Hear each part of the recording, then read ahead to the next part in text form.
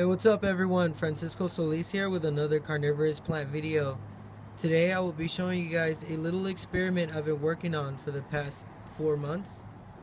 I grabbed two of my FTS maroon monsters and separated them, put one in full sun, one in full shade.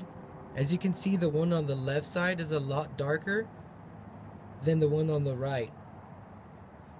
This plant here was placed in full sun and produced a lot more anthocyanin, which is the red colored dye pigment that you see here, which is all the red.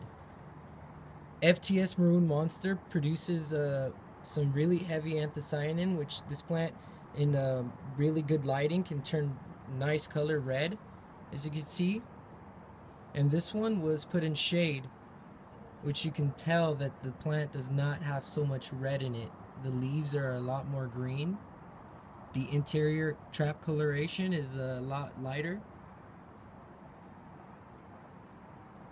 This just shows you guys that the sun does make a difference when it comes to color. They will turn your plant, your Venus flytrap, if the right cultivar. Some stay green, some produce more anthocyanin than others. FTS Maroon Monster is known for its good coloration. So there you go.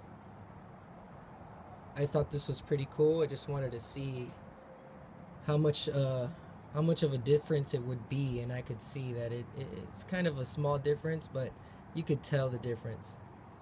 Sun, no sun. Cool. Thanks for watching, everyone.